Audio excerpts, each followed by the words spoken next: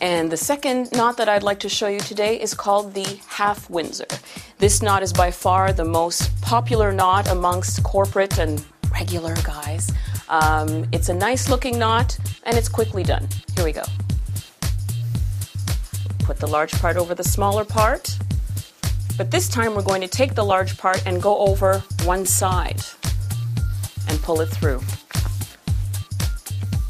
We then take that large part and go around, creating what looks like the knot. We go underneath the chin and through the loop. And as we're going through the loop, we simply pull.